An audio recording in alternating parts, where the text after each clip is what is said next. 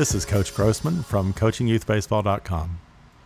This drill is the backing up base drill, and this diagram here shows where the players are. The players are in red dots, and they're spaced about five to 10 feet away from each other, and they're right on the foul lines, two behind home. You could put three behind home if you have enough room. And what happens is the coach is in the blue dot. The coach is going to flip the ball to a base and yell out a number of another base. So I'm going to flip it to three, and I'll yell two, two, two.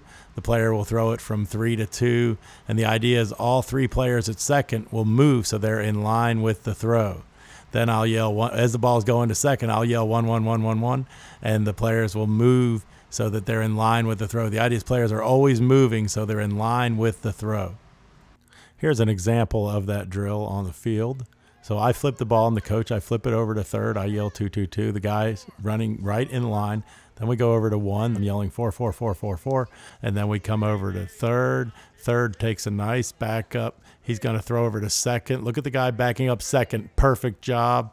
And then we go over to one. And then I think we come back to two. And now we're going to come back over to home. But this guy here, he was in line and he's ready to make the play.